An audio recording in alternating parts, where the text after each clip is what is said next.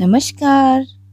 ललितास चूल्हा चौका में आप सभी का तहे दिल से स्वागत है।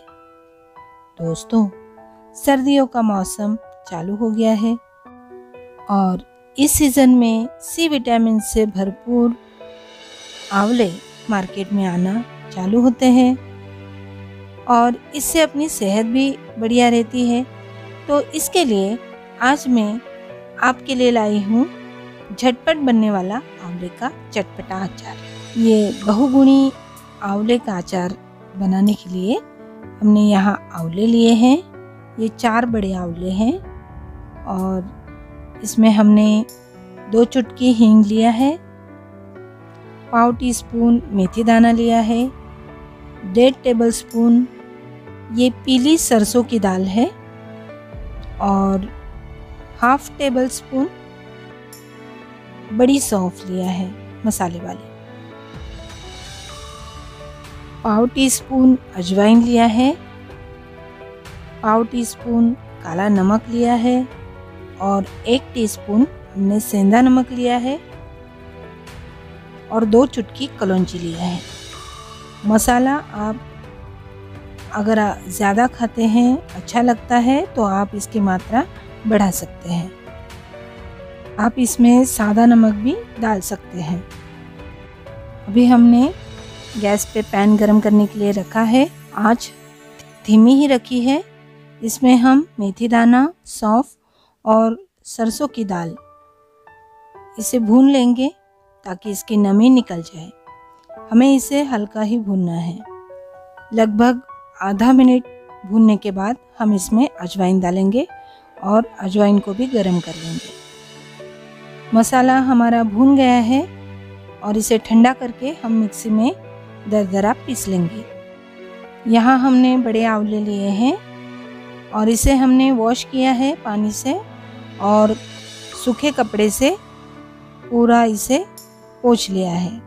अभी हम इसे जैसा हमें इसके टुकड़े करने हैं, उस तरह से हम टुकड़े कर लेंगे और बीज निकाल लेंगे।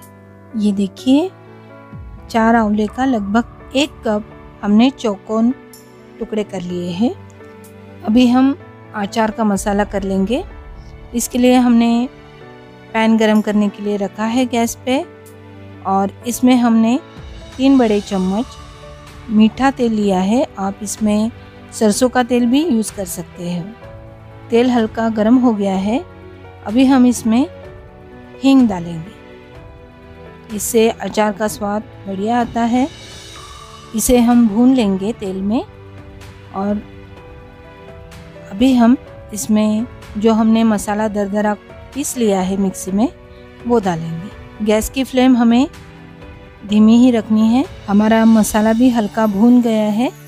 अभी हम इसमें कश्मीरी लाल मिर्च मिर्च पाउडर, ये दोनों मिक्स करके डालेंगे और हल्दी डालेंगे, जिससे कलर भी आएगा और तीखापन भी हमें मिलेगा। हमारा मसाला भून गया है। अभी हम इसमें आंवले के पीसेस डालेंगे और गैस बंद कर देंगे।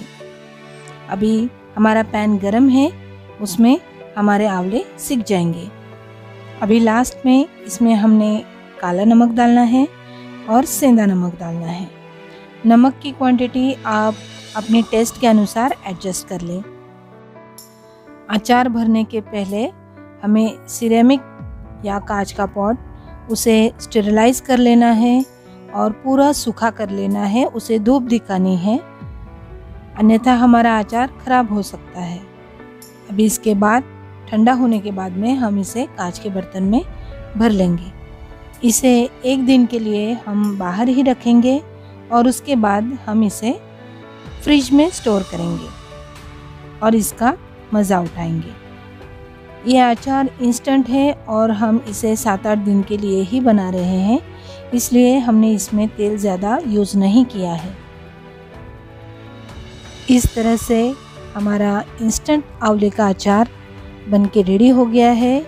आप जब मन चाहे तब इस सर्दियों में इसे बना सकते हैं। तो खाइए और खिलाइए और अपनी सेहत का भी ख्याल रखिए